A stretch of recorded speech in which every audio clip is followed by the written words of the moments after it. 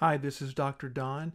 I want to go over the first quiz in my stat lab with you and hopefully uh, give you some ideas, some information that'll help you on the uh, midterm. This first question asks whether or not the data set is a population or sample. And I think what you need to do when you're looking at problems like this is not read too much into what they're asking. Read the statement and don't add or subtract anything here. The statement is the age of each resident in an apartment building. The answer is that it's a population because it's a collection of ages for all people in the apartment building. Well, let's break that down. We know it's not a sample because the statement doesn't say we're taking a sample or we're we got 25 of the residents in the building. It says each resident, so that means it cannot be a sample. That gives us two choices. We've got B, population because it's a subset. Well, that's a key word right there. A population is never a subset. And we're only talking about an apartment building. We don't talk about one of the buildings in the city. So that discounts option B, which gives us C. It's a collection of ages of all people in the apartment building. The second question is again about populations and samples. It says a polling organization contacts 1,357 teenagers who are 13 to 17 years of age and live in the United States and asks whether or not they've attended a concert this past year. What is the population? Well, the first option says teenagers who are 13 to 17 live in the United States have attended a concert. We know that's not correct because that was the question have they or have they not attended a concert? Second one is wrong for the same reason. It's got that the question in there have attended a concert. The last one, teenagers who are 13 to 17, is not specific enough because the question says and live in the United States. So that means the population is, is Charlie, teenagers who are 13 to 17 and live in the United States. What is the sample? Well, the sample is the 1,357 teenagers who are 13 to 17 and live in the United States. Out of all the teenagers in the country, they sampled 1,357. So that is the, the answer there. It says pretty straightforward. We contacted 1357. I'm going to reload that one and we're going to look at a similar question. Polling organization contacts over 2,000 adults who are 20 to 90 years of age, live in Europe, and ask whether or not they voted in the last federal election. So again, that's the question, the last part of the stem. Did they or didn't they, they not vote? And so the population are the adults 20 to 90 who live in Europe. And then we find that one down here. The sample is the 22 18 adults contacted who are 20 to 90 and live in Europe. So I hope that helps. The next question asks about whether something is a statistic or parameter. And I like to use the mnemonic device.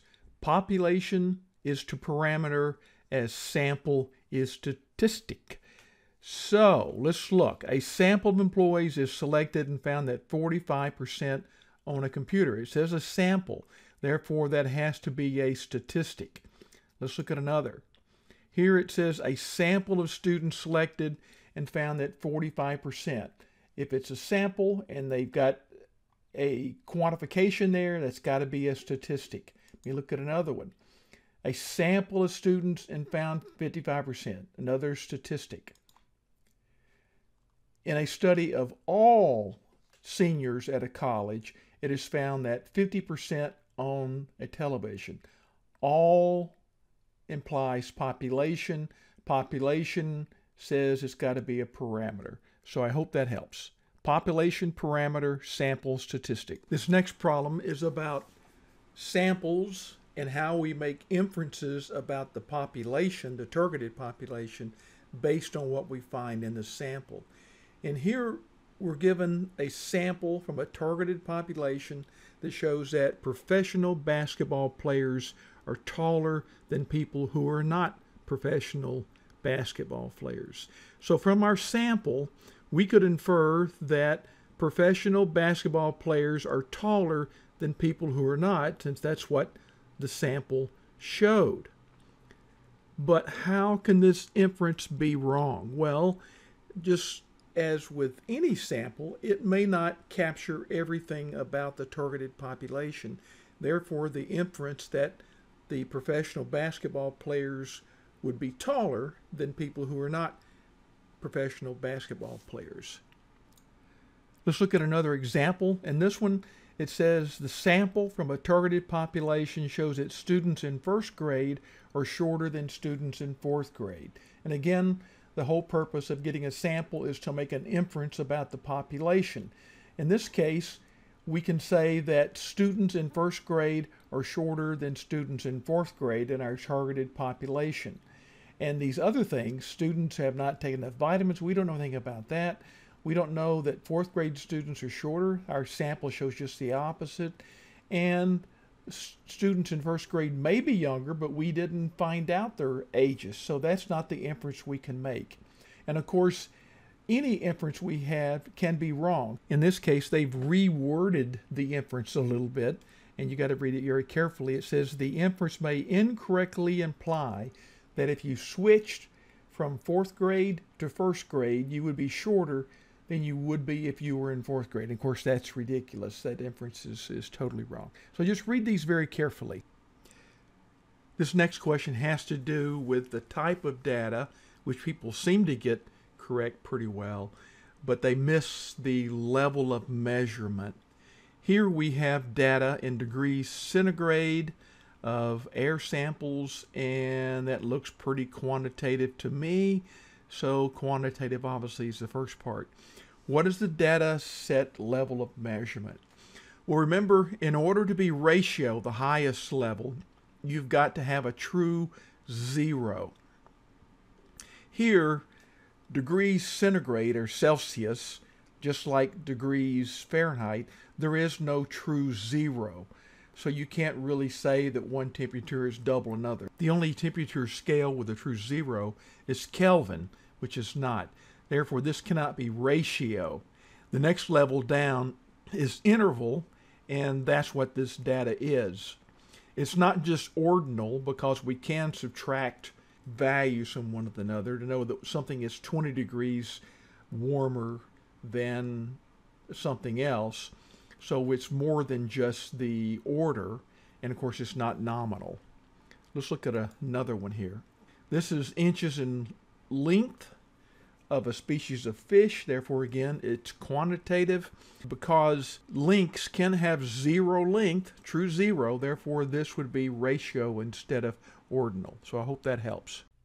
The next question is also about levels of measurement, and we're given allergies, temperature, age, and happiness from a scale from 0 to 10. What is the measurement for allergies? So I'm guessing they're going to answer I have uh, allergic to grass, I'm allergic to peanuts, so that would be nominal. What is the level of measurement for age? Age is time, and that can be kind of fuzzy, but there can be a zero age, so age would be ratio. What is level measurement for temperature? Temperature, again, unless it's Kelvin, generally when we take human temperatures, it's going to be in Fahrenheit or Celsius. So there's no true zero, therefore it's interval, which is one scale down from ratio. The last, what is the level measurement for happiness? Scale 0 to 10. And here, we don't really know if if the interval from 0 to 1 and 1 to 2 is the same. We generally assume it is, but we don't know. So really it's just order. We are happy, we're more happy, we're very, very happy just order.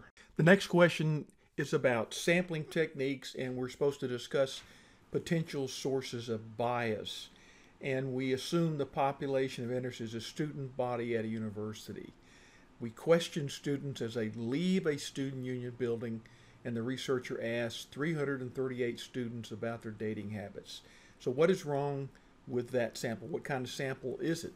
Well, it is a convenient sample. The researcher's just outside the student union, and as students come out, he asks, "Will you answer some questions?"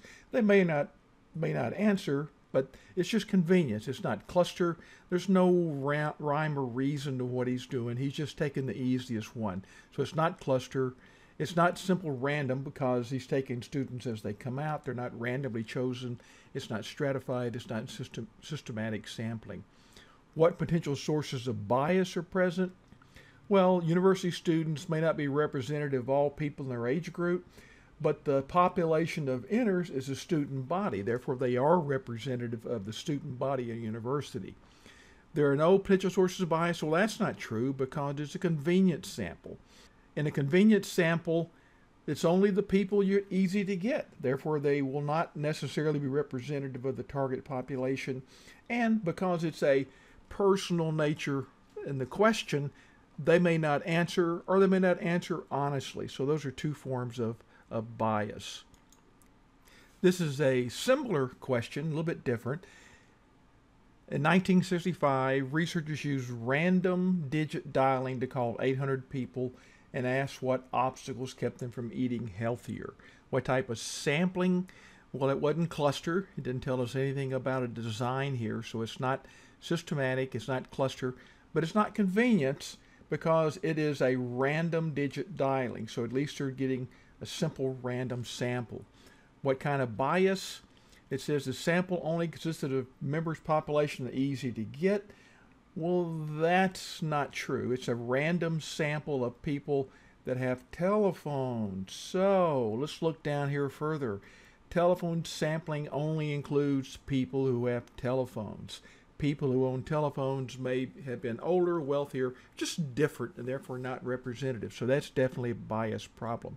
And again, because it's a personal question, they may or may not answer the question or answer the question truthfully, so there's some bias there. And finally, it's only individuals who are there to answer. So again, people may have different work schedules than the period that the person was calling, therefore there's some bias there. Definitely there are potential sources of bias, so that's not a good answer. So hope that helps. This question talks about the design of survey questions and how they can be leading, which would lead to biased results. The question is, why is eating cake bad for you? Well, the, just the fact that they say, why is it bad for you, would lead you to think maybe it's bad for me. So it's definitely a biased question. Then how can we make it better? Do you think that eating cake is good for you? Well, that's just flip side. Putting it good for you would make people think, well, maybe it's good for me. Do you think eating is eating cake is bad for you? It's same essentially as we have there. Why is eating cake good for you? That's the flip side. Original question is not bias. Well, that's not true. How do you think eating cake affects your health? That doesn't lead you to say it's good or bad. So, of all the choices, that's the best question. Let's look at another one here. Why is eating carrots good for you? Well, that's the same question. Let's look one more real quick and see. Why is eating eggs good for you? I think all of these are going to be, yeah, they're all going to be the same type of questions. So I can't really just read the question, see if it leads you to, to lean one way or the other. And if it makes you lean one way or the other, then it's biased.